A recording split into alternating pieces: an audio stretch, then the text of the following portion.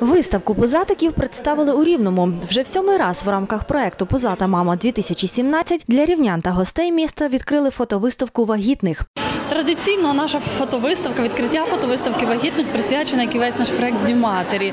Цьогоріч вже сьомий рік поспіль ми відкриваємо е, таке дійство, такий захід. Е, мета ми хочемо показати, що вагітна жінка це надзвичайно красиво і разом з тим водночас це активність. Тобто вагітність це не привід сидіти вдома. Цього року кількість майбутніх мам рекордна. Майже 30 вагітних взяли участь в позатій мамі 2017. Серед них і Вікторія Цюх. Вона вперше бере участь у фотосесії і розповідає, що враження неймовірні, але зізнається, що обрати малюнок на животику було складно.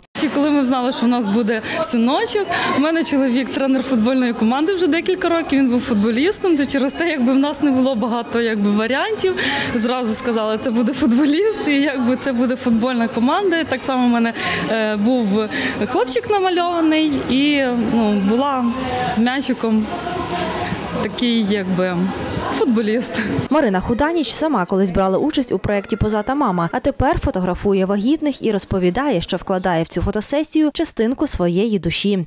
З вагітними е, працювати завжди дуже цікаво і завжди по-особливому. Мабуть, вже вкотре це повторюю, тому що це неповторний завжди, навіть якщо це другою дитинкою чи третьою, завжди неповторний стан для самої жінки, і вона в цей період дуже особлива і неповторна. Фінал проекту Позата мама відбудеться 4 травня. До цього часу на майбутніх мам чекає ще багато цікавих заходів. Це і екскурсія пологовим будинком, іпотерапія, тобто поїздка на іподром, і звичайно ж вечірка для вагітних. Зоряна Жильчук, Іван Комар у ритмі подій.